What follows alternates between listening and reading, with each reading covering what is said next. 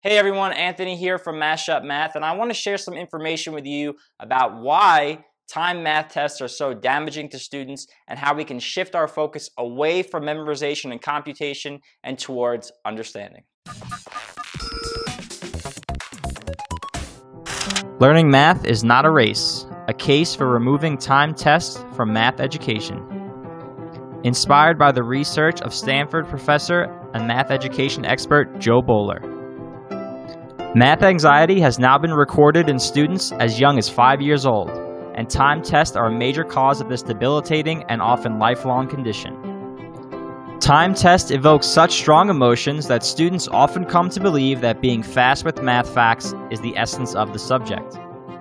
This misguided emphasis on speed and memorization has resulted in high numbers of students dropping out of mathematics. Brain research shows us that, under the stress of time pressure, working memory can become blocked, leaving students unable to retrieve what they already know.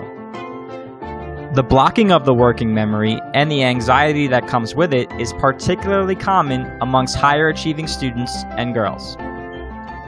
When schools make learning math an anxiety provoking experience, we turn students away. The best way for students to learn math facts is through engaging in activities that focus on understanding number relationships. This authentic understanding is best achieved through taking the time to think deeply about number strategies. Yet, many people believe that mathematics is only about calculating, and that the best mathematics thinkers are those who can calculate the fastest. In truth, skilled mathematicians are often slow with math because they take the time to think carefully and deeply about mathematics. We need our students to become powerful thinkers who can make connections, think logically, and solve complex problems. To achieve this goal, we must shift the focus of math education away from rapid calculation and towards deep mathematical thinking and understanding. This movement in education reform is gaining momentum, and your input helps. Please join the conversation and share your thoughts in the comments below.